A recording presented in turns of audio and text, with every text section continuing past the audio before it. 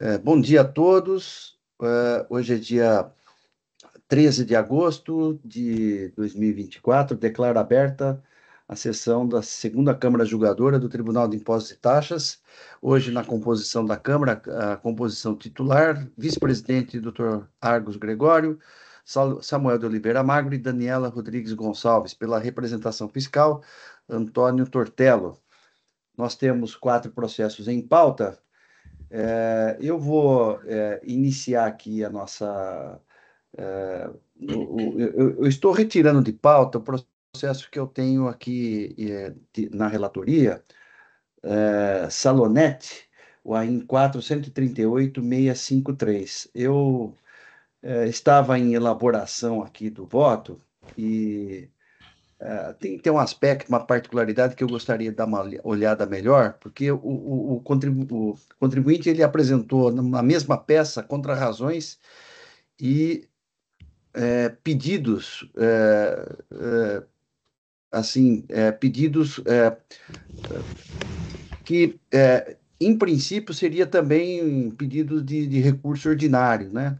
Então, eu queria analisar melhor a pertinência, se realmente é, seria o caso aí de, é, de reconhecer uma fungibilidade, alguma coisa. Se for o caso, teria que é, abrir o, oportunidade para o contraditório, né? Então, eu queria analisar melhor, porque é bem, é bem particular esse caso aqui. Então, eu tô, estou tirando de pauta. É, até o Tony já observou isso, né, Tony? Uma outra oportunidade, eu estou é, até me chamou a atenção, então eu vou tirar de pauta esse aspecto, né, esse, esse processo, para verificar esse aspecto aí. Então, estou tirando de pauta é, esse processo de minha relatoria. Bom, então, é, como é de praxe, vamos iniciar o processo é, para uh, os casos de sustentação oral e, e dos advogados que estão acompanhando. Então, indústria campineira sabão Glicerina Limitada, o AIN 4 137 585, relator, eh, o doutor Argos, é, representação fiscal apresentou parecer e o doutor Samuel também pediu vistas. Então, doutor Argos, poderia nos é, resumir o seu voto e aí, em seguida eu passo a palavra ao voto vista é, do doutor Samuel. Perfeito, presidente. Bom dia, bom dia a todos, bom dia ao presidente. Cumprimento também os meus colegas, doutora Daniela, doutor Samuel. É, igualmente cumprimento o doutor Tony Tortello, satisfação tê-lo sempre aqui conosco, cumprimento os advogados que aqui estão presentes e a todos aqueles que eventualmente nos assistam, sem esquecer da, do pessoal que nos dá suporte, Oswaldo, Jailson e Hélio.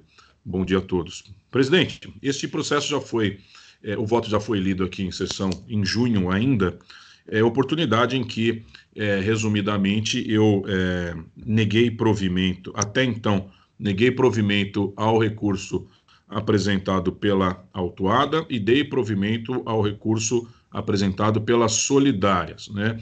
Com relação à, à autuada, eu só fiz aqui uma pequena correção, porque é, me bem, bem me alertou aqui o doutor Samuel que eu tinha deixado de me pronunciar acerca do pedido de redução de multa e quanto aos juros. Né?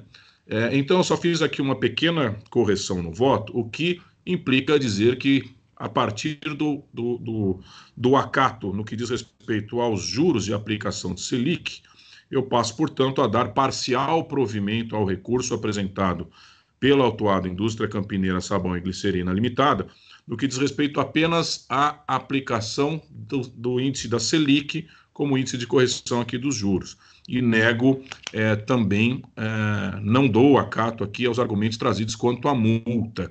Então, aquilo que originalmente era uma negativa de provimento ao recurso da autuada indústria campineira se transforma agora em parcial provimento apenas para o acato quanto à Selic.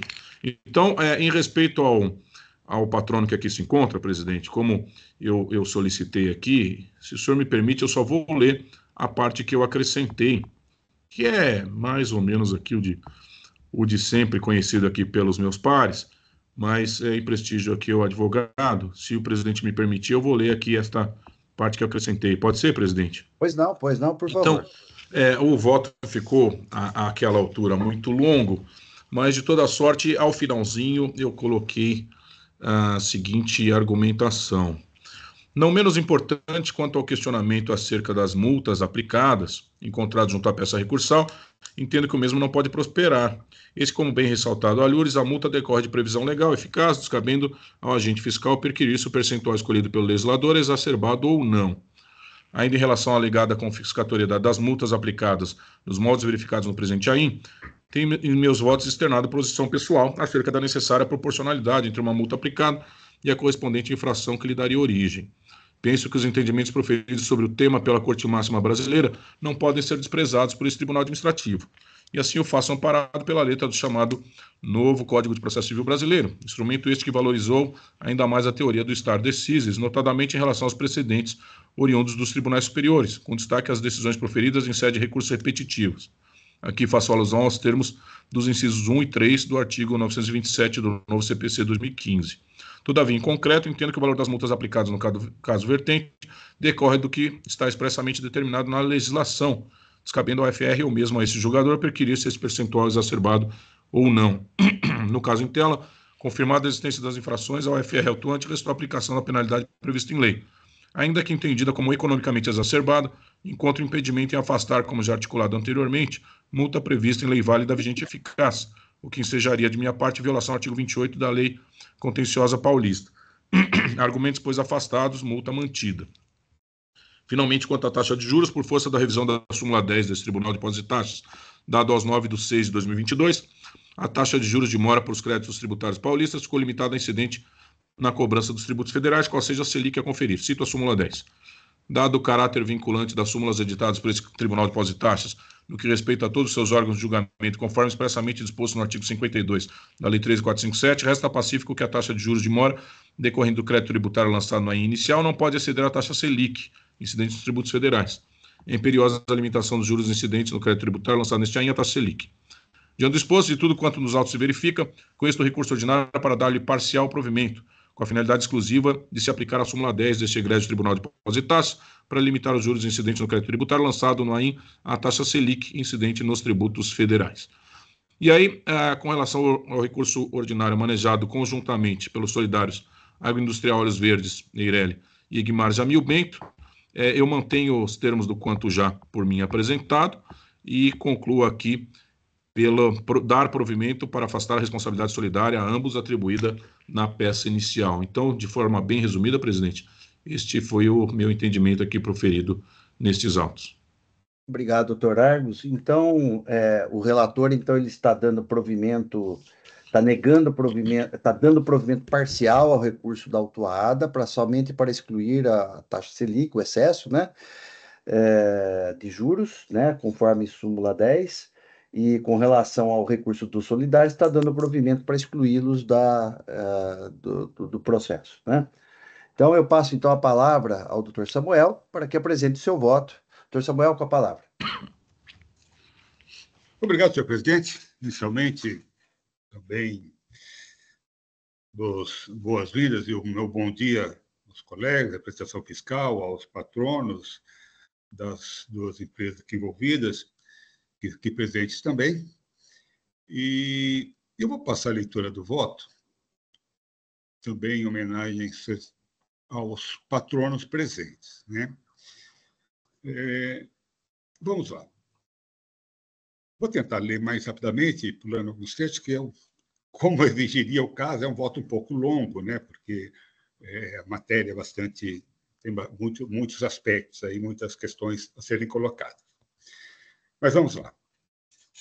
É, o ilustre juiz relator apresentou em seu voto relato detalhado dos fatos e alegações que envolvem esse julgamento e, com sua licença, adoto o relatório e passo imediatamente ao voto. Pedi vista desses autos para apresentar entendimento divergente daquele muito bem exposto pelo doutor relator no tocante ao recurso ordinário interposto pelos responsáveis solidários. Relativamente à solidária agroindustrial Olhos Verdes e Eireli, as razões de minha discordância do entendimento esposado pelo nobre relator foram expostas com maestria no voto de relatoria apresentado à décima Câmara Jogadora pelo Dr. Sérgio Nomura, ah, desculpa, Rogério Nomura, a quem foram primeiramente distribuídos recursos aqui em julgamento. dadas a clareza de seu texto e a sua minuciosa análise do conjunto probatório, transcrevo o excerto desse voto, cujos fundamentos adoto como razão de decidir. Aqui, senhor presidente, eu transcrevo aqui algumas. É, esse, esse voto já foi apresentado, então os, os, os patronos já têm conhecimento né, desse, desse, desse voto, que acabou não, sendo, não indo à votação, porque saiu em vista e, com o termo de mandato, não retornou para a conclusão do julgamento. É, que a conclusão, então, na, na, verdade, que é exatamente a análise que eu faço também, que eu vou repetir em alguns aspectos também essa análise adiante, é, são a, a, participação efetiva da, da Olhos Verdes no, num esquema de fraude, né, é, que visava aí a, a, transferir crédito indevido né, para a autuada e também para livrar a autuada da sua obrigação de pagamento do imposto, né? já que o, o sebo bovino, que era efetivamente a mercadoria comercializada, é, estaria, estava sujeito, essas operações estavam é, sujeitas ao diferimento, é, sendo que o imposto é, era cobrado na entrada da mercadoria no, no estabelecimento industrial, no caso, a autuada. Né? Mas eu vou retomar em alguns aspectos, agora analisando a, a, a responsabilidade solidária da pessoa física, e eu vou retomar esses pontos aí, então acho que não haverá nenhum prejuízo aí em termos de entendimento do voto com relação a essa supressão aqui. E continuo eu. Quanto à solidariedade do senhor Edmar Jamilberto, o infográfico apresentado à Folha 26 ilustra de forma clara o esquema de fraude engendrada nas operações que fundamentaram o acreditamento aqui discutido.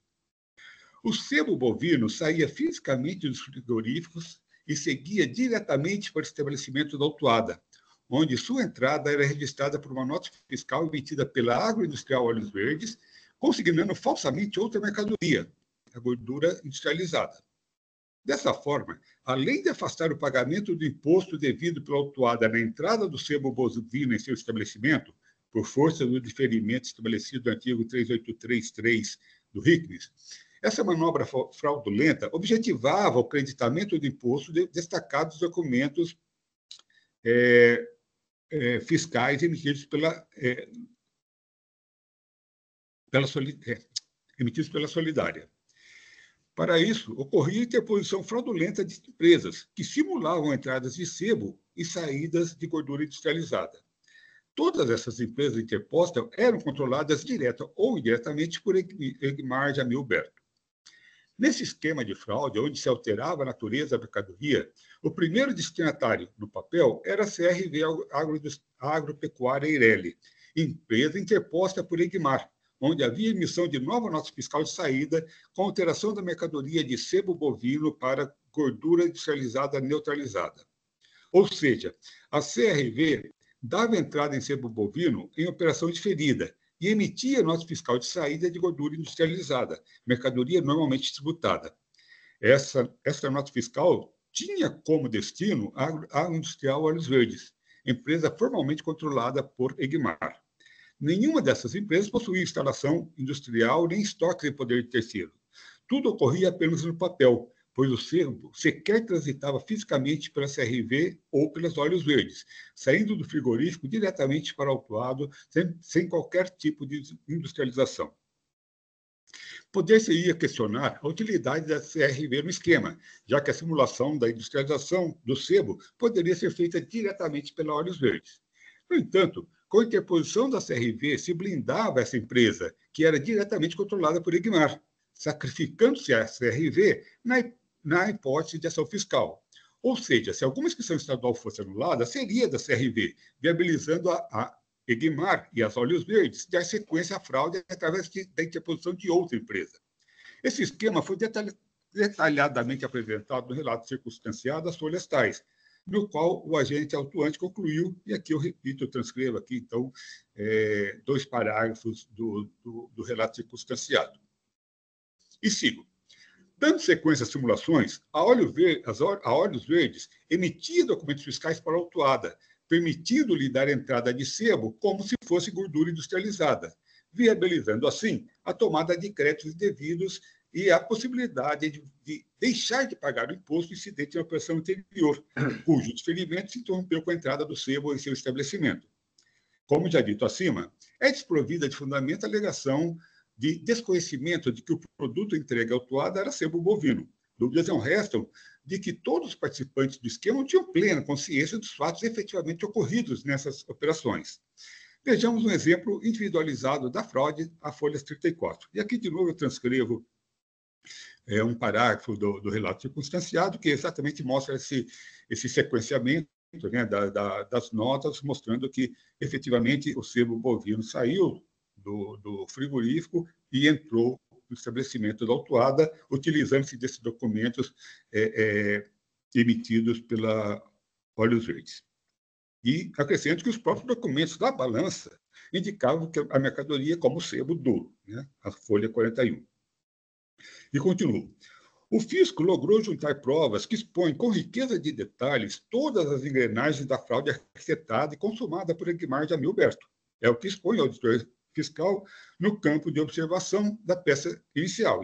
Então, eu transcrevo aqui o item 1 né, do, do, do AIN, que deixa bem claro né, e, e cita essa, é, essa, essa situação, inclusive a própria constituição né, da, da filial é, é, da Olhos Verdes lá em Minas, né, em, em Turama, é, que, nós, que eu já havia dito aqui na, na sessão e que o doutor Água prestou seu voto, né, que na verdade era uma imobiliária, né, que se, nem se deram trabalho de efetivamente alugar um espaço para, para a, a, a Olhos Verdes, né, utilizando lá de uma imobiliária para tanto.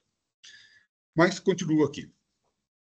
Percebe-se que Guilmar Jamilberto teve participação ativa e fundamental na consecução da fraude, como seu responsável direto, o conjunto fático probatório demonstra de forma cristalina que essa pessoa concorreu para a sonegação do imposto, pois através do seu comando ocorreram as fraudes em interposição de empresas que emitiram notas fiscais com alteração na descrição da mercadoria.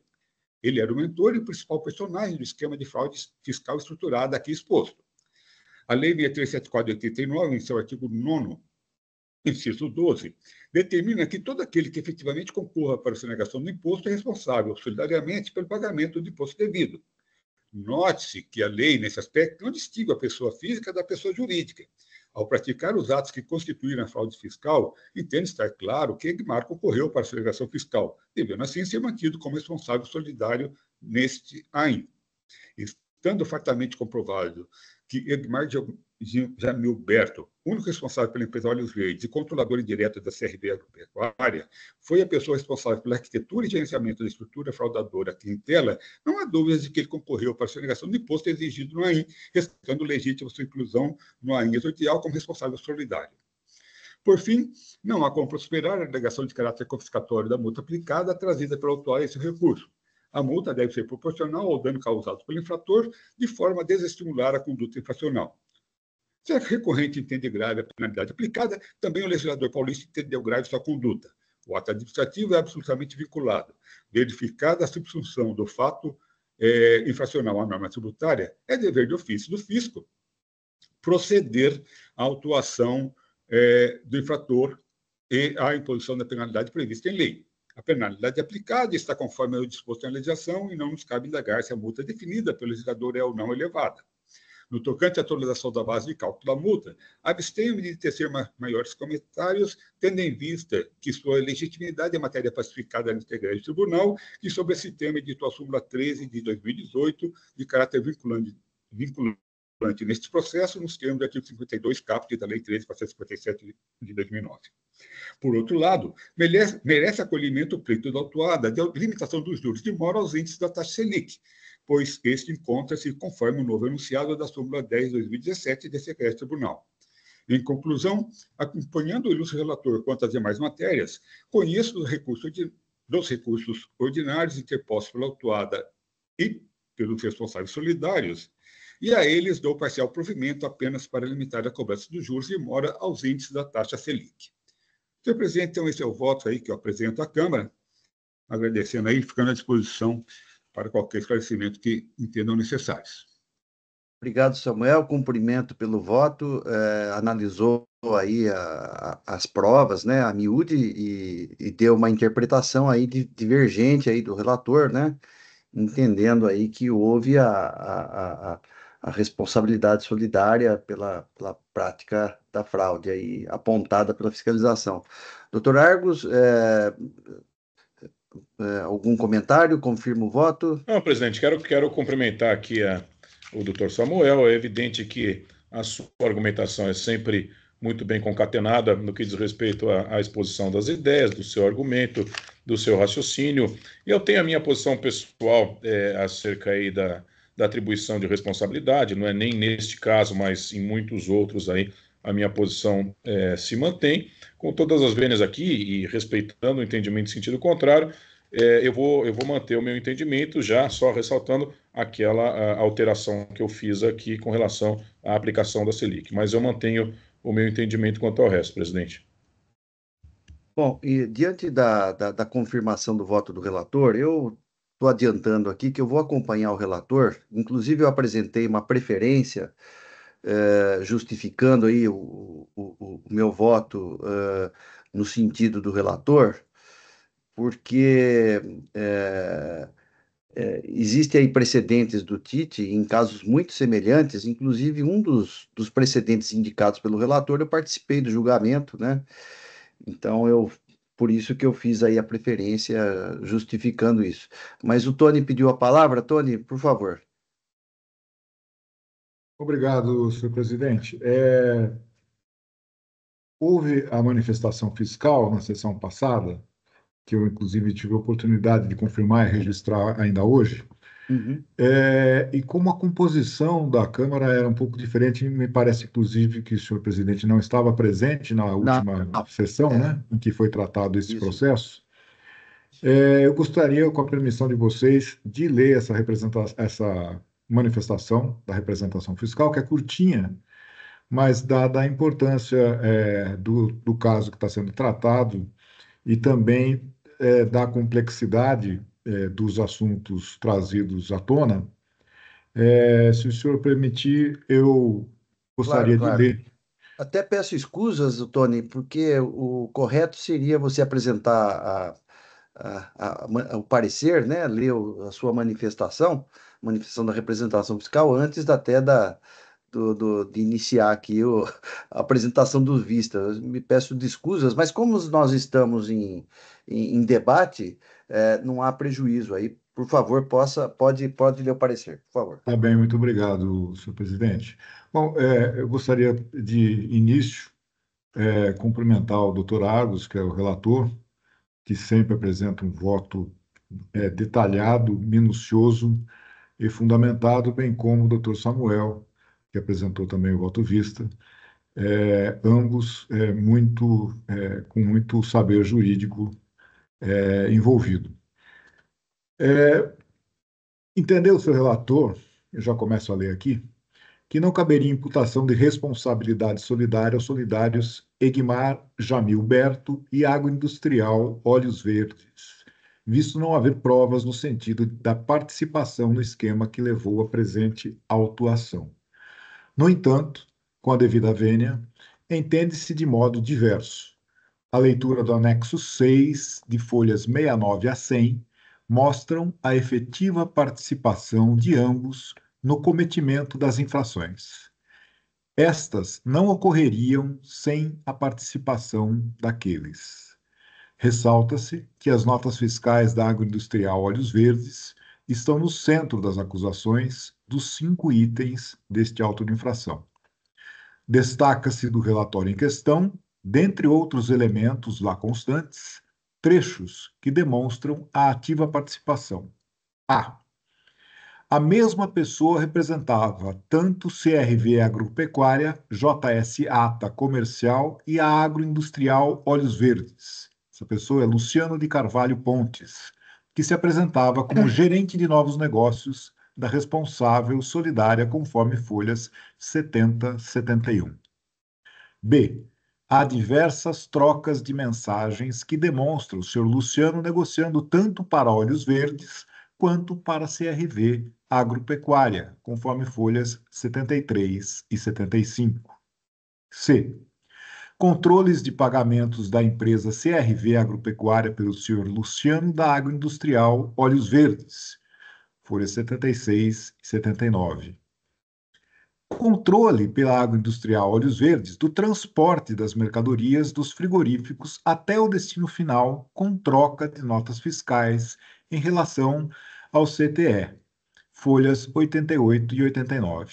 Finalmente, item E, a constituição de filial da Agroindustrial Olhos Verdes em Iturama, Minas Gerais, também envolvido no, no mesmo esquema, conforme folhas 91 e 90, a 96. Ressalte-se que a pessoa jurídica é 100% controlada pelo responsável solidário Egmar Jamil Berto. Assim, entende-se que há provas que apontam efetivamente para a solidariedade de ambos os responsáveis com base no artigo 9 inciso 12, da Lei 6374 de 1989. Respondem solidariamente, responde solidariamente todo aquele que efetivamente concorra para a sonegação do imposto. Diante do exposto, pugna-se pelo não provimento do recurso ordinário, à exceção do já dito é, da súmula 10 referente ao, à Selic. Esta, faltou aqui incluir esta, essa ressalva, mas eu acho que não traz prejuízo algum, porque a própria autuada pede isso no seu recurso ordinário, de forma que é, é essa a, a, as considerações que eu gostaria de submeter aos senhores. Obrigado.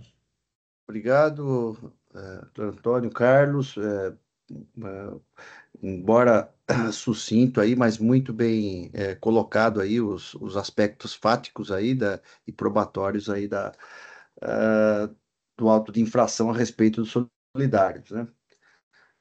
O processo está em discussão. Bom, acredito que só falta a minha manifestação, não é? é uma vez que os senhores todos já manifestaram entendimento. Eu, na sessão em que o processo saiu em vista, havia dito que tinha um posicionamento parecido com o doutor Samuel, né? Queria pensar na matéria e, se fosse o caso, eu faria uma preferência caso o doutor Samuel chegasse numa conclusão diferente da que ele chegou. Então, eu vou acompanhar o doutor Samuel, porque é o posicionamento que eu já havia manifestado entendimento no momento anterior, fiquei de analisar melhor o processo para ver se era isso mesmo, mas acompanho o doutor Samuel. É, o parecer e o voto do doutor Samuel são muito bem colocados, mas é, depois eu, eu, analisei o processo e, e, realmente vou acompanhar o relator, porque é, são processos e, e, fatos muito semelhantes e, e já votei até nesse sentido, né? Então vou manter também meu voto. Sim, entendo, faz sentido. É que eu realmente, assim, nesse caso, o meu entendimento é muito parecido com o doutor Samuel, de que não tem como é, as empresas não estarem cientes do que acontecia em uma, uma na outra, de fato, era um grupo econômico, as mercadorias, o trâmite foi todo apenas, foi todo apenas, é, é, essa, essa negociação foi apenas para a gente reduzir a tributação. Então, é uma fraude estruturada mesmo e acompanho o doutor Samuel pela manutenção da, da acusação e da solidariedade. Obrigado, Daniela, pela intervenção. Então, diante da intervenção de todos, eu estou encerrando os debates. Eu peço que os senhores juízes confirmem presença para quórum de votação.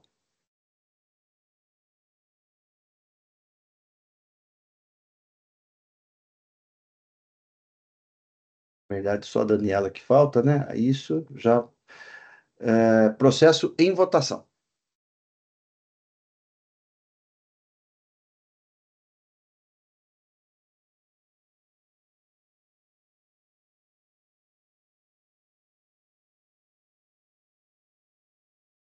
Daniela está conosco?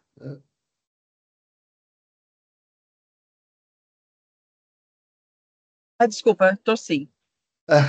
É que eu estou muito resfriada, então às vezes eu prefiro fechar a câmera para. Ah, tá. Desculpa. Não, tudo bem. Estou até meio fanhosa, mas aí eu estou muito resfriada, é, é melhor sim. fechar a câmera para ficar mais tranquila. Desculpa. Mas já voltei. É, só falta votar, é, iniciada a votação. Não apareceu aqui para mim. Nossa! Deixa eu voltar. Ah, tá, ele ficou vermelho. Eu cliquei, mas apareceu a telinha vermelha. Deixa eu pegar aqui de novo.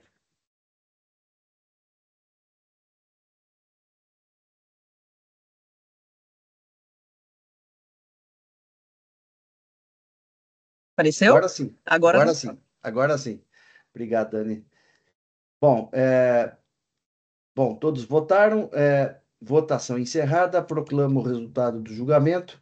Recurso ordinário da indústria campineira conhecido e negado, é, é, dado parcial provimento, apenas para excluir a taxa Selic, e recurso ordinário da agroindustrial Óleos Verdes, conhecido integralmente provido para excluir é, os solidários do processo, nos termos do voto relator, tendo em vista aí o empate, né? O empate, é, eu votei com o relator, doutor Samuel eh, e Daniela votaram pela, pela, por negar provimento ao recursos solidários, né? Houve aqui, na verdade, unanimidade em relação à autuada e, e, e maioria de votos em relação aos solidários. Então, eu vou registrar aqui, então, a, o voto condutor.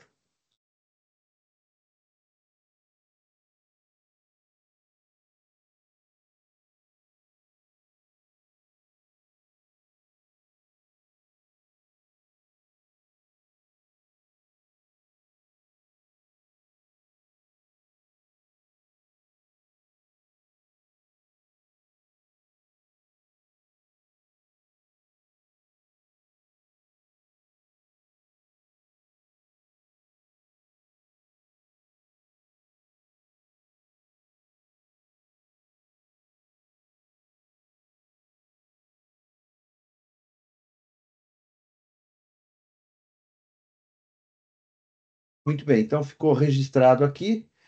Ah, prevaleceu então o voto do ilustre relator. Então, estou. Deixa eu ver aqui coisa, só para conferir aqui. Integralmente provido. Isso aí. Então, é, registrado o voto, então, voto condutor. Estou encerrando o julgamento. Agradeço aí a presença do Dr. Gustavo Minatel e do Dr. Daniel Parra e passamos então ao próximo processo da pauta. Obrigado, obrigado boa sessão presidente. a todos. Boa sessão a todos também. Bom dia. Obrigado, obrigado.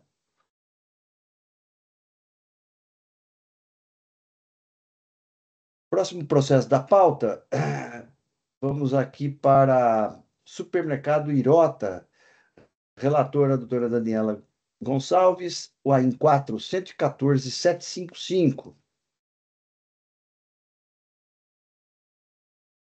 É, não há inscrição para sustentação oral, então eu passo a palavra diretamente à doutora Daniela para proferir o seu voto. Com a palavra.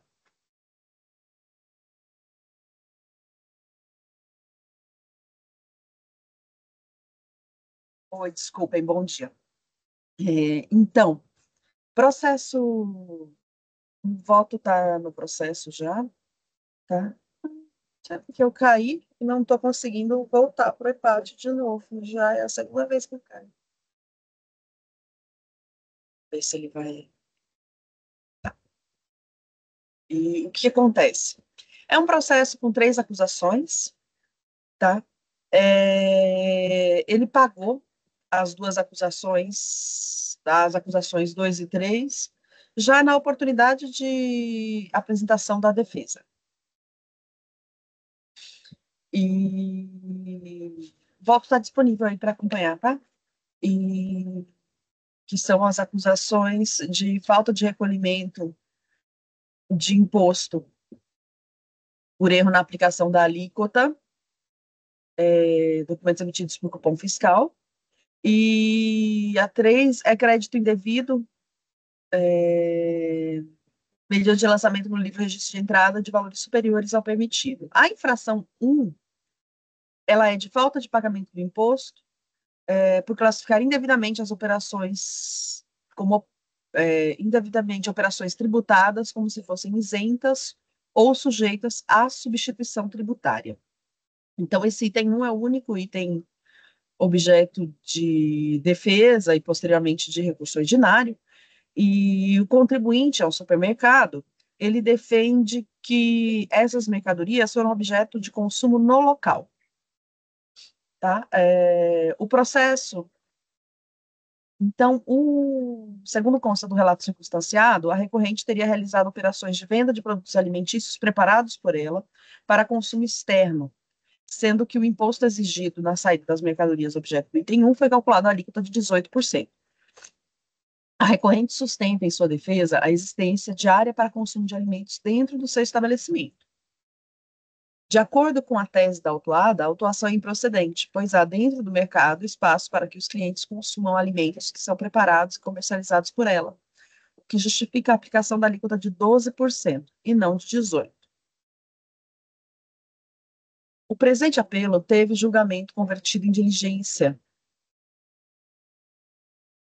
pela oitava Câmara Julgadora, nos termos do voto do doutor Samuel Riema, solicitando esclarecimentos em atendimento em esclarecimentos. Ele fez uma série de questionamentos para o autuado. Em atendimento, o interessado juntou documentos de folhas 19.221 e seguintes.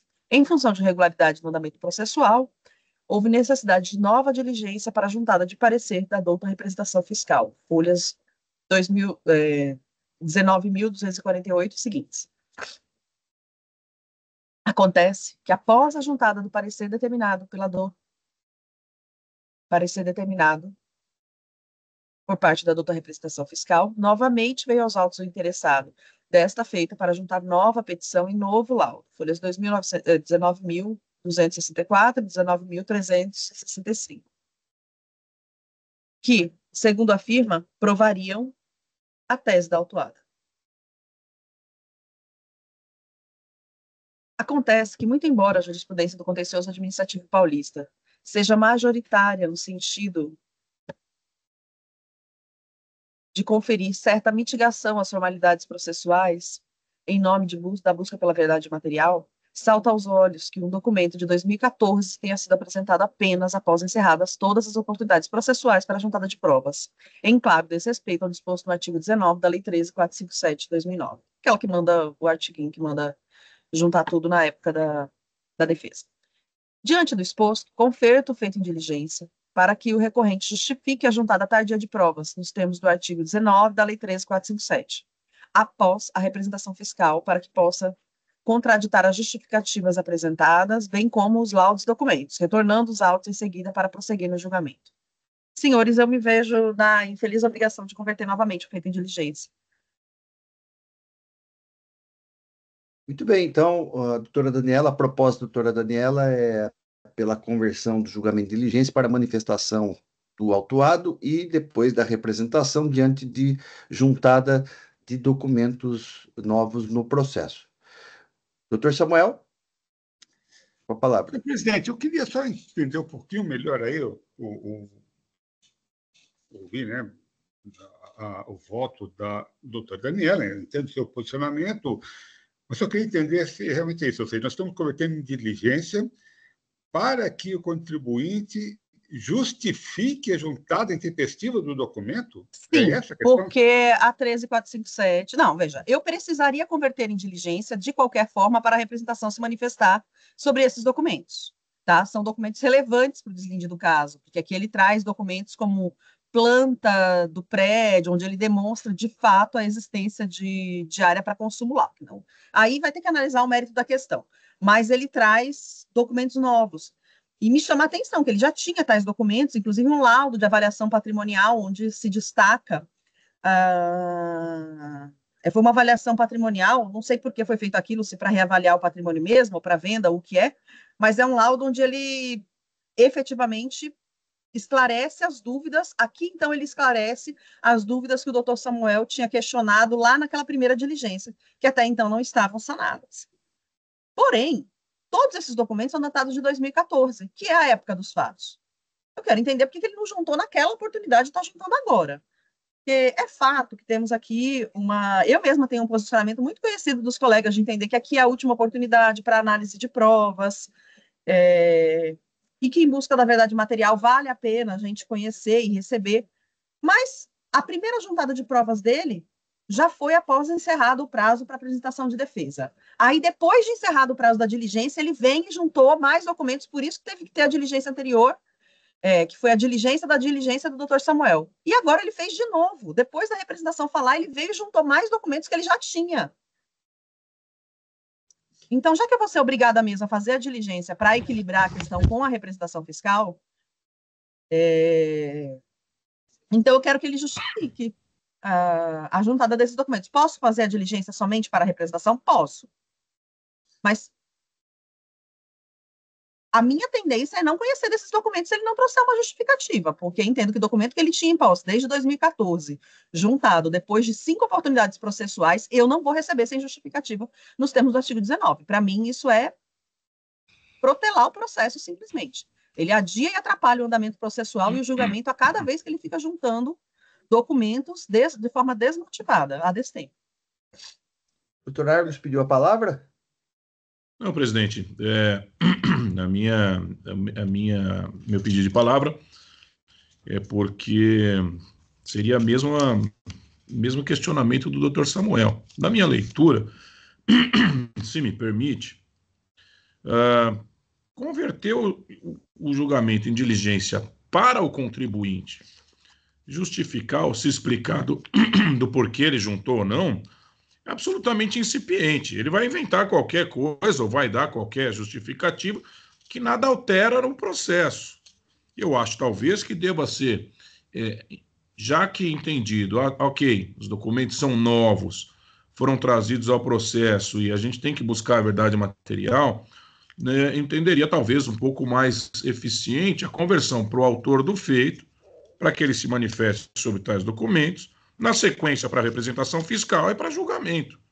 O, o único que não deve se pronunciar, pelo menos na minha perspectiva, que não deve se, se, pronunciar sobre isso é o próprio contribuinte. Se ele juntou a destempo ou não, ele corre ali o, o, o risco dos documentos não serem é, apreciados. Mas é, para ele se justificar porque juntou tardiamente, não é?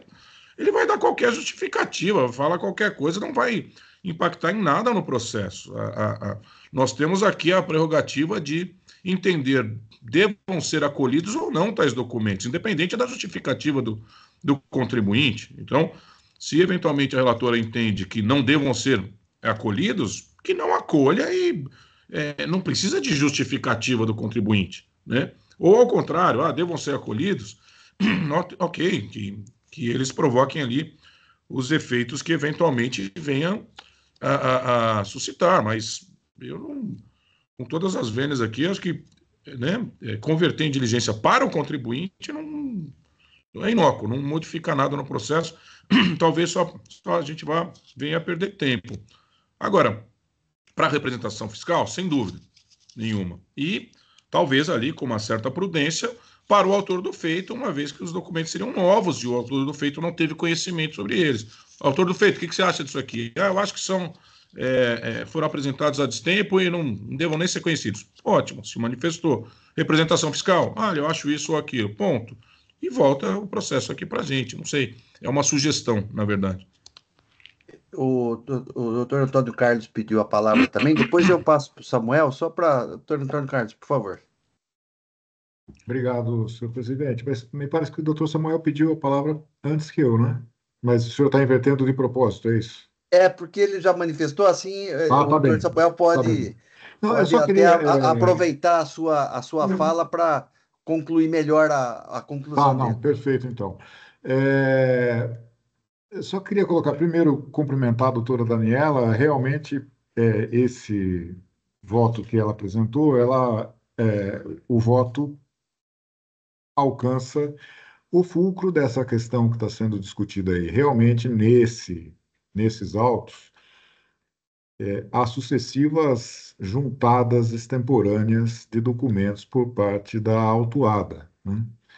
É, e nos parece que sancionar esse tipo de comportamento é, prejudica a justiça tributária que nós queremos tanto entregar. É, essa questão da da, de aceitar os documentos extemporâneos por conta da verdade, do princípio da verdade material, sempre me pareceu um pouco desfocada, porque o princípio da verdade material tem muito mais a ver com a inexistência da inércia do juízo, característica na justiça comum. Né? Na justiça comum, o juiz é inerte, ele espera a provocação das partes. E se alguma prova ficou para trás, azar da parte. Né? Na, no, na esfera administrativa, justamente o princípio da verdade material mitiga essa inércia do juízo. Né? Então, é, se, a, se nós não tivermos um termo final para que as alegações e documentos das partes sejam apresentados, a gente chega num, numa situação em que o processo administrativo virtualmente não tem fim, né? porque sempre por conta de uma verdade material, alguém pode alegar um fato novo, um, fato novo, digo, novo no processo, né? que se fosse novo no mundo fenomênico, estava justificado apresentada extemporânea, né? Mas um, um, um, fato novo extemporâneo e esse processo não chega a fim nunca, né? É, então, diante da, da situação de fato verificada nos autos, me parece que talvez fosse mais é, justo, necessário é, e legal é, partir para o julgamento e ignorar as provas juntadas a destempo, justamente porque não, não tem mais o que dizer. Né? No entanto, caso não seja essa a decisão da Câmara, me parece que é razoável ouvir da autuada as justificativas que ela tem, eventualmente, para apresentar, até porque isso pode é, fundamentar a, a própria com, com mais vigor a própria rejeição desses documentos da análise por esta Câmara. Né? Então, é, eram essas as questões que eu queria colocar. Obrigado. Obrigado, Tony. É, Samuel, por favor. É, senhor presidente, é, para a resposta da doutora Daniela, eu, eu realmente foi na linha do que eu realmente imaginava. E eu entendo, nem concordo com o doutor Antônio Carlos, quando na análise que ele faz da questão da verdade material, já disse aqui, não sei se eu já disse nessa Câmara, mas eu sempre dizia na, na sétima Câmara, e na quinta Câmara, e na terceira Câmara, tal, que o princípio de verdade material me arrepia um pouquinho, porque eu não, não sei o que é isso, né? Tem tanto. Me parece que é daqueles mantras que se. Né, muito comuns em direito, começa a se repetir, repetir, e daqui a pouquinho está todo mundo cantando mantra sem saber exatamente o que ele quer dizer, né? E aproveitando para qualquer coisa, né? Que nem o tal do, do, do, do da sacralidade, do, do princípio da não cumulatividade, né? São, são mantras que coisas as pessoas começam a usar para tudo, né? É, até para como não tem nada a ver. No caso específico aqui, é, primeiro que me parece que a solução dada pela relatora, né, o voto dela bem estruturado, bem colocado, ela coloca bem a questão, só não, não concordo com a solução dada, porque, na verdade, vai exatamente fazer aquilo que, que ela está querendo evitar, né? que é, é, é, é, enrolar o processo. Né? Ou seja, nós estamos jogando mais uns quatro, cinco, seis meses nesse processo por conta de, dessa, dessa questão. Por mim, me parece, eu olhei aqui algumas provas, para mim a questão já está, inclusive no mérito já está resolvida. Né? Nem, nem, preciso, nem precisaria entrar nessa, nessa questão, porque eu estou vendo aqui o seguinte: olha, é, qual é a, a, justificativa do contribuinte, e essa é a prova que ele quer fazer. Né?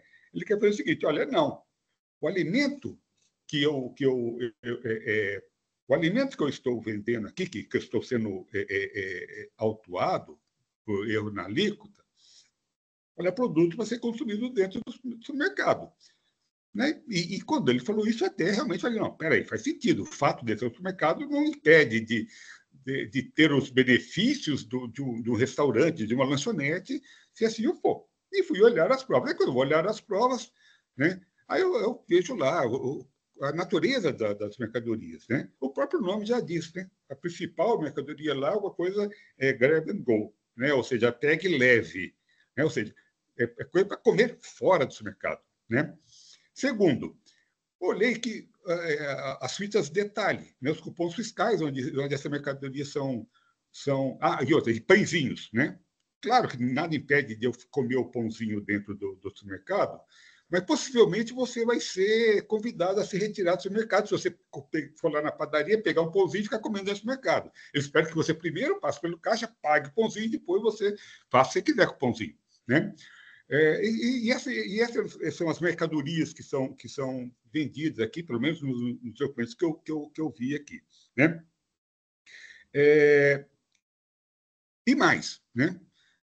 Obviamente, se eu tenho um restaurante para comer dentro, pelo menos aqui no Brasil, já em muitos mercados, inclusive já, já consumi coisas em, em, em lanchonete no mercado, é, você nunca come para pagar depois no caixa, na saída.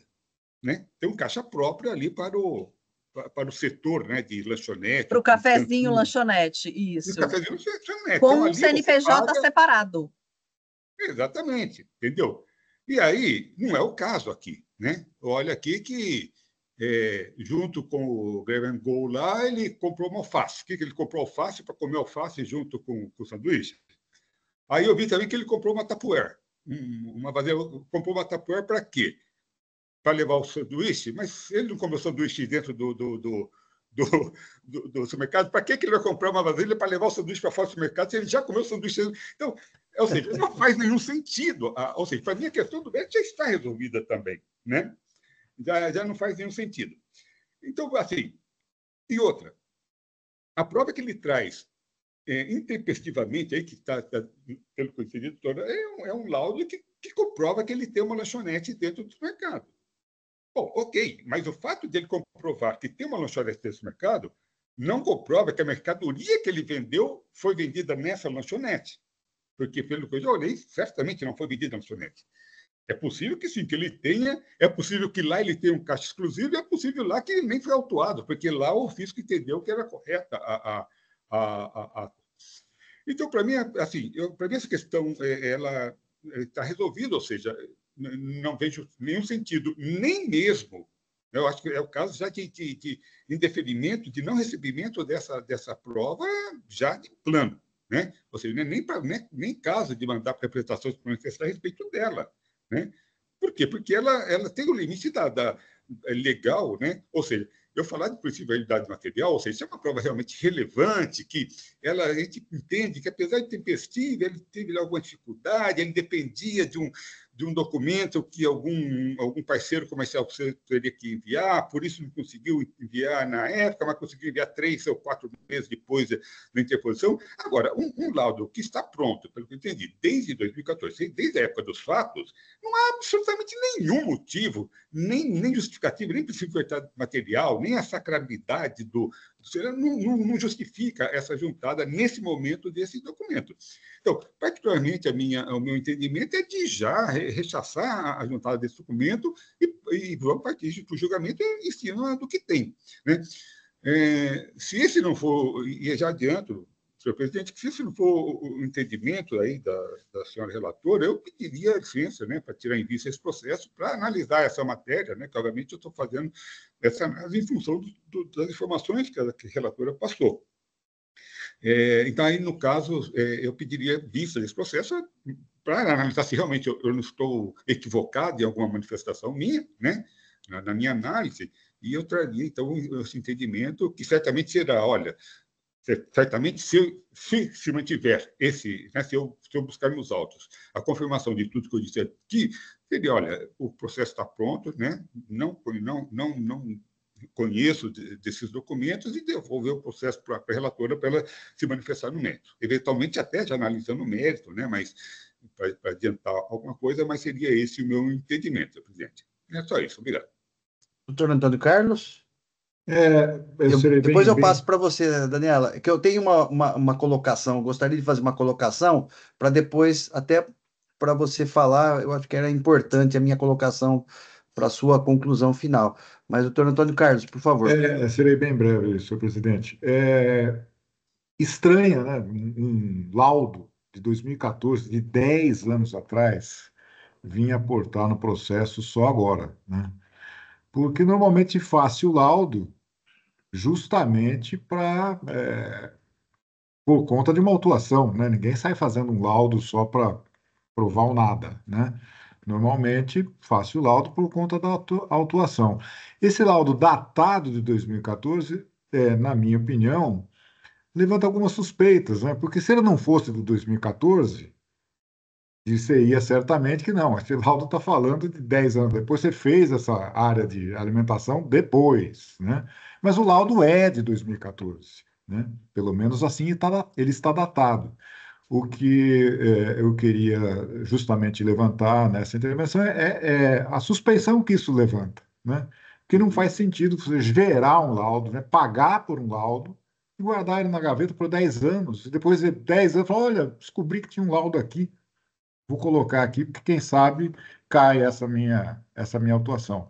Era só essa a observação que eu queria fazer. Obrigado. É, eu queria fazer uma observação aqui, é, vendo aqui o comentário de todos, né? Mas é, o que, que acontece? Até uma, um esclarecimento aqui por parte da relatora, porque é o seguinte: as folhas 19.208, na decisão da Câmara Julgadora da época, na, da oitava Câmara, é, a Câmara, é, a oitava Câmara determinou que o contribuinte juntasse documentos. É, é, é, aí é um, porque aí o que que acontece? Ele e ele juntou, né? Eu não sei se aí eu juntou não sei... e juntou depois de encerrado o prazo da diligência Isso. e aí então teve que fazer uma nova conversão para representação fiscal porque já foi juntada ao destempo. Então veja, é, pode, é, porque nós temos duas situações. O contribuinte propositalmente não junta o documento, ou por algum motivo de esquecimento ou de falha na sua defesa, na preparação de sua defesa, não junta, e aí junta é, é, intempestivamente um documento que já tinha. Isso é uma coisa. Agora, outra coisa, ele já tem esse documento, por algum motivo ele não juntou, e a Câmara determinou que ele juntasse. Né? E aí se abriu a possibilidade, a Câmara, a oitava Câmara, entendeu que seria relevante juntar esse documento se ele tivesse para o desfecho, para o deslinde da lide. É, então, e, então, veja bem, é, se a gente não conhecer do documento, me parece que ele pode conseguir uma nulidade lá na frente, por quê? Porque a, a, não sei se é isso, Daniela, se eu tô, se eu estou interpretando, mas. É, é, só, desculpe interromper, só para não perder o raciocínio. É. é. aquela juntada de documentos, ele fez. Ele fez a destempo, mas ele fez e foi recebido, tanto é. que foi convertido em diligência para a DRF. O que Isso. acontece é que depois da manifestação da DRF, depois do processo já em pauta para julgamento, com um outro relator no mandato passado, ele veio e juntou esse laudo. E aí, certamente, o, dá para ver que o processo foi pautado e foi retirado. Muito provavelmente, porque juntou o laudo, o colega tirou o voto que devia estar tá. no processo ou não, e, não sei. E, esse, e, e aí, docu... Desculpe esse foi posterior àquela diligência que já havia tá. concluído. Não é e esse documento, um documento que ele jun... da Câmara. Ah, tá. E esse segundo documento que ele juntou agora, é, é, pertinente aquela determinação lá da oitava Câmara ou não? São, do, ou é um documento que não, não foi isso que pediu? É uma, uma coisa realmente nova que ele. É, ele poderia ter juntado lá e não juntou? Poderia, ele já tinha é. o documento, o documento é de 2014. É. É, o pedido feito pelo relator anterior é um pedido aberto.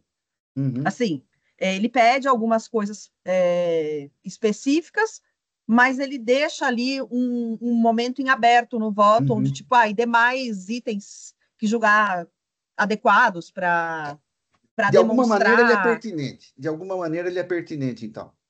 Indiretamente, é. sim. Não é sim. exatamente tipo, eu quero isso, né? Eu quero uma planilha com isso, isso e aquilo. Não, ele faz um pedido, deixa ali um pedacinho aberto, é, mas o fato é que a oportunidade para atender essa diligência já havia encerrado quando ele juntou os documentos. Esse agora não é aquele documento daquela diligência. Esse é um outro que ele juntou mais de ano depois daquela diligência. Tá. Esse que eu tô. Mas, diferente do seu raciocínio, aí depois eu. É, e, e, e, uma, outra, uma, outra, uma outra questão também que me chamou a atenção foi a Daniela, né, a relatora, disse: olha, é um documento relevante. Então, é, por isso que eu também fiquei na dúvida, né? Ô, Samuel, você não quer tirar em vista, não?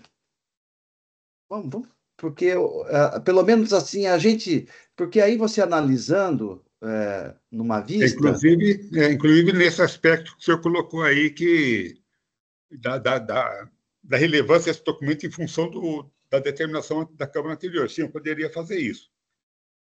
É, embora, senhor presidente, já adiantando que, para mim, diligência ela é uma questão de, eu diria, questão de foro íntimo da, da Câmara, entendeu? Ou seja, o que é uma diligência que uma outra Câmara determinou, né, é, era relevante para aquela Câmara, né? Porque aquela Câmara tinha dúvidas, porque aquela Câmara entendeu que é, ela, eu acho que ela não, assim, eu tenho já várias vezes já explanei aqui esse entendimento de que ela não é, é, é não nos, nos obriga, né? É, né, não vincula, não vincula, mas, não vincula. Né? Mas você concorda que o contribuinte fica eh, tem argumentos fortes para dizer, olha, eu tive cerceamento de defesa e tal, aí vai lá, anula lá na frente, volta. Sim, claro, claro. A gente sem, até, sem dúvida. Né? Para evitar, isso, né? É, então, a, a... Vista, eu realmente analisaria dessa, também nesse aspecto que você colocou, doutor Erivaldo. É, a minha ideia de pedir uma justificativa, sendo adiantando aqui um pouco a, a questão do, do processo, né? Porque assim, eu entendo no mérito, como o doutor Samuel por, pontuou aqui, por diversos motivos. Porque eu acho que não é crível que a pessoa vai lá na gôndola do supermercado, pega e come na mesinha lá e depois passa no caixa e tudo. Eu acredito que normalmente tem caixa separado. E também porque ele precisaria ter um jeito de separar o que foi comido no local e o que saiu. E ele precisaria demonstrar, em momento algum, ele, ele trata como se tudo fosse comido no local. Certo. Que é estranho, uhum. é um estabelecimento gigante com três mesinhas no canto. É disso que a gente está falando, sim. tá?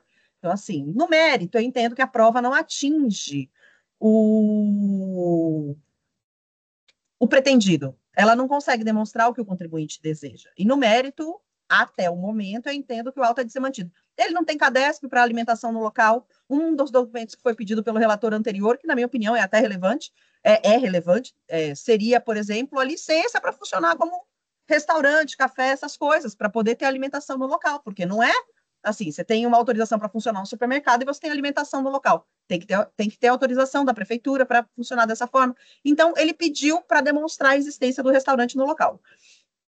Porque é isso que ele quer.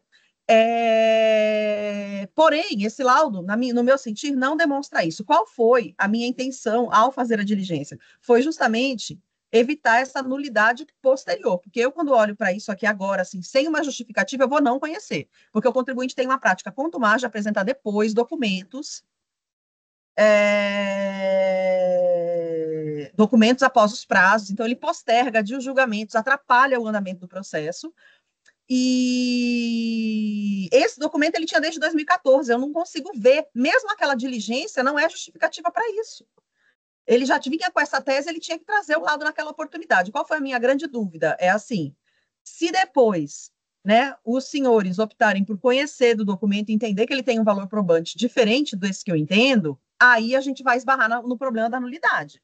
Porque é um documento post, é um documento conjuntada posterior, sem determinação, um documento do qual ele já tinha posse, eu não consigo olhar para esse documento e ver uma justificativa no processo. O que acontece é que quando a gente aceita o documento posterior, pelo menos é o posicionamento que eu costumo adotar, é assim, quando eu aceito o documento juntado a destempo, eu já entendo que tem uma justificativa para esse documento e eu expresso, tipo, olha, apesar do documento ter sido juntado a, a destempo, é um documento de terceiro, que ele só teve acesso, né? Ou é um laudo que ele pediu antes e só ficou pronto depois. Essas coisas eu sempre expresso que eu estou aceitando. Não é, ah, é prova material, pode trazer qualquer coisa a qualquer hora. Não funciona assim, né? Temos aqui uma formalidade mitigada, mas também não é bagunça. não é? Temos que respeitar aqui alguns ritos. Então, eu entendo assim, se não formos fazer a diligência para o contribuinte justificar, e eu estou vendo aqui que ninguém aqui tem o entendimento de pedir para o contribuinte justificar, então, é, bom, se o doutor Samuel quiser fazer a vista, o doutor Samuel, claro, pode ficar à vontade, mas se a diligência, pelo meu entendimento, pelo que os doutores manifestaram aqui, eu acho que a diligência para que o contribuinte se justifique não será aprovada. Se ela não será aprovada, eu prefiro retirar o processo e trazer o voto no mérito. Porque então a minha opção é de não conhecer desse documento. E aí, já não, se eu já sei que eu não vou conhecer, também eu não preciso demandar o trabalho da representação fiscal. Pedir para a representação fiscal se manifestar sobre um documento que eu não vou conhecer? Para quê?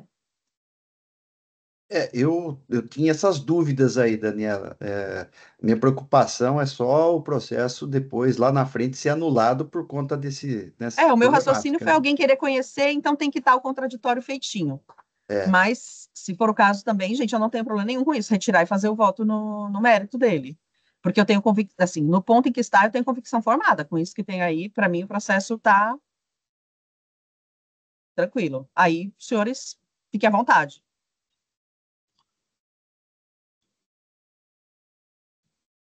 Pois não, Samuel. Pois não. Então, senhor presidente, acho que nesse entendimento aí que a doutora Daniela colocou, seria mais produtivo que ela mesma retornasse eh, o processo para ela e ela, ela analisasse essa questão que o senhor colocou. Para mim, essa questão que o senhor colocou seria, assim, a, última, a única questão que poderia realmente, de alguma maneira, né, eu acho que ainda que com alguma dificuldade, é, justificar alguma nulidade. Né? Com relação à nossa aceitação, isso aí já está pacificado aqui na, no TIT, na Câmara Superior, olha, não, não falou, porque a lei é clara, não é? Na verdade, a lei não fala nem disso, ela fala que a circunstância tem que ser cabalmente comprovada. Né? Não é só Caso também falar que eu não consegui, eu tenho que comprovar que eu não consegui. Então, assim, com relação a esse aspecto da nulidade, eu fico muito tranquilo, porque não, não há, já, já é pacificado, entendo que não há possibilidade. Mas, realmente, o, o que o doutor Eurivaldo colocou é uma preocupação é, é, bem, é, bem importante, né? que eu acho que, de alguma maneira, poderia dar uma discussão com algum trabalho, né? que ele teria que fazer um tremendo é, é, concatenação de lógicas para chegar à conclusão, né? É, mas também que a doutora Daniela colocou, também não é o caso, né? Porque uma coisa é. Ainda que tenha sido pedido lá atrás, ele teve a oportunidade de, de, de apresentar, né? já voltou para julgamento, e, ou seja, não apresentou, né? Ou seja, não, é, é, é, o que ele tinha apresentado, ele tinha o prazo, inclusive. Né? Eu entendo que até a Câmara mesmo poderia, se, se quisesse não ter recebido naquele momento lá, porque foi recebido, né? Já naquele momento já não poderia não ter recebido. Né? É o meu entendimento, mas de qualquer é o seguinte, é, o doutor Orivaldo colocou uma questão é, muito interessante, importante aí, que vale, vale a pena um, um especial olhar né, para essa matéria aí, sim. Eu acho que seria mais produtivo, então, realmente retornar para a doutora Daniela, que já conhece o processo, né? ou seja, tudo aquilo que eu teria que analisar, ela já analisou e já sabe, né? Poderia... Não, acho que pode, então, nesse sentido, acho que a gente pode voltar o processo para mim. Não precisa a representação fiscal falar, porque eu vou, eu vou não conhecer desse último laudo. Então, aí, doutor Antônio Carlos, a gente não, não vejo sentido de demandar a atividade da representação se eu vou não conhecer desse último documento. É, e com relação à eventual nulidade, doutor José Orivaldo, eu acredito que a nulidade ela poderia ser suscitada se nós não tratássemos a motivação do não conhecimento. A partir do momento que essa motivação é tratada, e aí eu posso até me deter um pouco mais nela, ao invés de fazer um parágrafo tipo, ah, perdeu o prazo e pronto. Eu posso descer nessa análise, tipo, olha, ele já teve, já foi. Eu posso analisar ele um pouco mais a fundo para a gente fazer uma justificação, uma justificativa bem adequada, é, de forma que a gente supere a nulidade. É, e aí, já prevendo essa, esse problema, entendeu? E tá aí certo. a gente vai para o voto no mérito mesmo, e eu trago, é, eu tenho convicção já formada, como já adiantei aqui para os senhores, né? É, então, a, a diligência seria mais para caso alguém resolvesse conhecer do documento, tiver entendimento diferente e tal, mas se não vamos conhecer do documento, eu fico muito tranquila de fazer o voto no mérito nesse caso.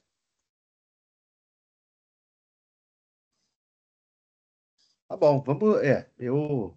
Assim, é, o, o processo teve um vai e vem aí, né? Teria que analisar com calma aí a questão da, da, da, da relevância ou não. Aí é, tem que ser uma análise detida, né? Não dá para aqui em mesa a gente é, chegar nessa conclusão.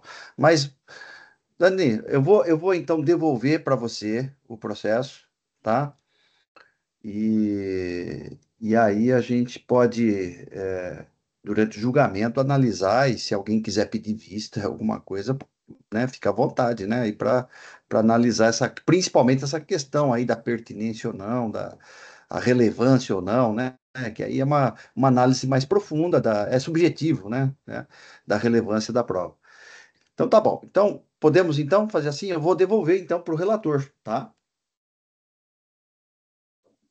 Então, processo devolvido para o relator, para a relatora.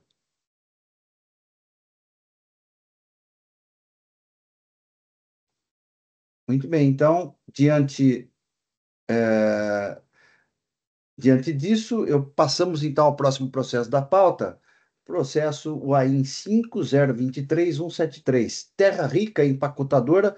Doutor Argos é o relator, um recurso de ofício. Doutor Argos, não há é, inscrição para sustentação oral, então eu passo a palavra é, ao ilustre relator. Presidente, é, este, este caso aqui é um caso extremamente simples, dado o seu contexto. Ele já foi apreciado aqui pela, pela Câmara e nós entendemos por bem que o processo fosse devolvido ao, de, ao delegado tributário. Por quê? Porque houve a interposição de um recurso voluntário. Então, em tese, este processo seria um processo em que há recurso de ofício e recurso voluntário, né, recurso ordinário, foi chamado de recurso voluntário, que por alguma, alguma razão não foi visto, não foi recebido. Né? É, então, deliberamos aqui, olha, então vamos converter em diligência para que o delegado aprecie é, a interposição desse recurso, enfim, se é tempestivo, se não é tal. E, curiosamente, o processo foi dirigido a um outro órgão que não a delegacia e não ao delegado de julgamento. Então, está retornando para a gente como se sequência normal fosse, mas não é. É preciso que se cumpra aquela diligência determinada, dirigindo o processo para a autoridade competente para que ele aprecie a interposição do recurso, receba o recurso, que se abra a parte para a representação fiscal se posicionar em contra-razões a esse recurso, para que posteriormente suba é, novamente aqui para o tribunal. Então, o meu voto é nesse sentido de nova conversão do julgamento em diligência, inclusive em acato ao quanto é, observado pela representação fiscal. Então, eu só explico isso, eu digo aqui, né? Como bem apontado pela representação fiscal em sua manifestação de folhas 3015, notadamente seu item 2, as folhas 3012 vê-se que houve o um incorreto encaminhamento à Delegacia Regional Tributária da Capital, DRTC 3, que retornou prontamente o processo. Conclusão: é uma só, não houve o cumprimento do quanto determinado na diligência. Desta feita, de mistério que se converta uma vez mais o presente julgamento em diligência para que se cumpra os termos da decisão de folhas 3003, dada a unanimidade por esta Câmara Julgadora. Então está aqui, uma vez mais, buscando sanear o regular trâmite do presente processo, reitera a necessidade de conversão no presente julgamento de diligência à Delegacia Tributária de Julgamento, para que se digne a autoridade julgadora a proceder à admissibilidade do recurso aviado às folhas tais para, em sequência, seja devidamente notificada a Fazenda Pública apresentar suas contrarrazões, com a posterior subida dos autos a este relator para apreciação e julgamento por esse Tribunal de Impostos e Taxas. Então, presidente, sim, sem mais delongas, é isso. Foi feito um encaminhamento incorreto aqui. Então, eu estou, é, de alguma forma, tentando sanear esse trâmite, determinando a diligência para o local certo, mais uma vez. Nada mais do que isso. É, ok. É, a Lei 13457 determina qual é a autoridade competente para admitir recurso, né? Então, não tem como fugir disso, não vai anular o processo. É. Sem dúvida. Então, tá bom. O processo está em discussão. Sem inscritos. Estou encerrando os debates. Aguardo confirmação para quórum de votação.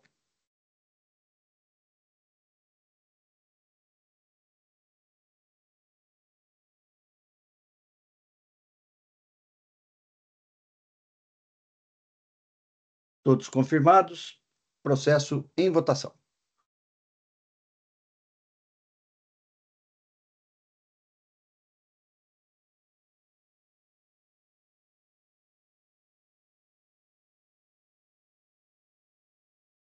Votação encerrada. Proclamo o resultado do julgamento. É, processo convertido em diligência nos termos do voto relator Julgamento encerrado e com o encerramento deste processo, nós cumprimos então a pauta de hoje.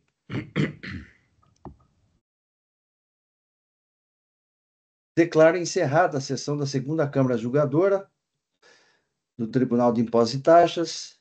Estou encerrando a sessão no EPAT. Agradeço a todos uh, a presença de todos e a, e a participação de todos. Hoje foi uma sessão de muitos debates aqui, sempre muito produtivo. Eu peço então que o Oswaldo encerre a, a gravação. Já está encerrada